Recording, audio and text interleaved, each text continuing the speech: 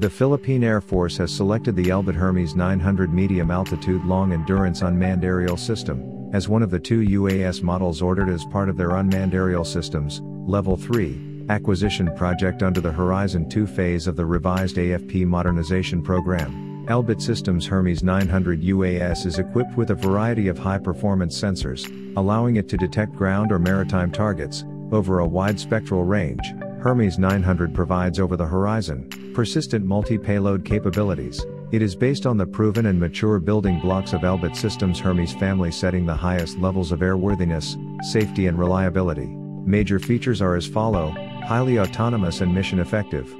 Multiple hard points and 250 kilograms modular installation bay. Satellite communication and lost data link. Adverse weather capabilities.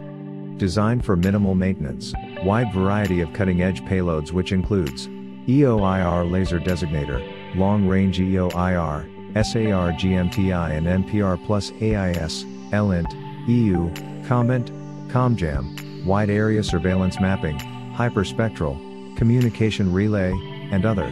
Hermes 900 brings armed forces of the Philippines to become the operator of one of the most advanced UAV in the Southeast Asia region.